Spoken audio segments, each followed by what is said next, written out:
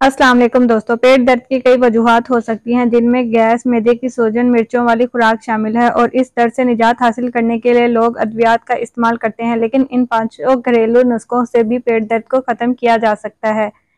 पहले नंबर पर आता है सेब। सेब का सिरका अक्सर और बेशतर हिचकियों और गले के दर्द के लिए भी घरों में बतौर नुस्खा इस्तेमाल किया जाता है, क्योंकि इसमें मौजूद पोटाशियम और विटामिन डी और सी मौजूद होते हैं।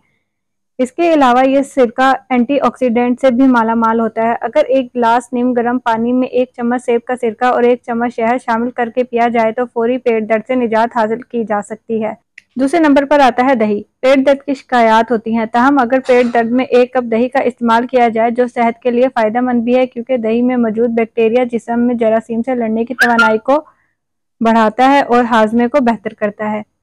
तीसरे नंबर पर आता है पौदेनी की चाय या पत्ते। तमाम सब्ज़ियाँ कुदरती खसूसियात से माला माल होती हैं। ताहम पुदीने से बनी हुई चाय में भी वो कुदरती अज़ा हैं, जिसको लोग मैदे में तकलीफ़, सरदर्द, असाबी तनाव, जहनी सुकून या किसी भी किस्म के दूसरे जिस्मानी दर्द के लिए इस्तेमाल करते हैं। तहम पेट दर्द में एक गिलास पुदीने की चाय या इसके पत्ते खा लिए जाएँ तो पेट दर्द से आराम के साथ जिस्मानी सुकून भी मिलता है।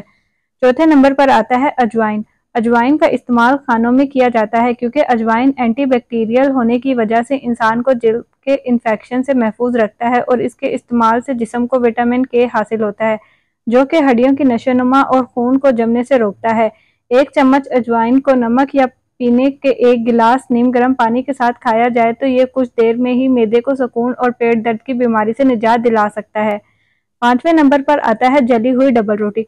जैसा कि हम जानते हैं कि लोग पेट दर्द में डबल रोटी का इस्तेमाल करना ही बेहतर समझते हैं, लेकिन ये बात बहुत ही कम लोग जानते हैं कि पेट दर्द में जली हुई डबल रोटी खाने से दर्द से निजात हासिल की जा सकती है, क्योंकि इसका स्याह हिस्सा इन जहरीले अज़ा को जजब कर लेता है, जो कि आपको मुतासर कर सकते हैं। आज की वीडियो में बस इतना ही। मिलते हैं नेक्स्ट वीडियो में। अगर आपको हमारी वीडियो पसंद आ जाए तो लाइक, सब्सक्राइब और शेयर करना मत भूलिएगा।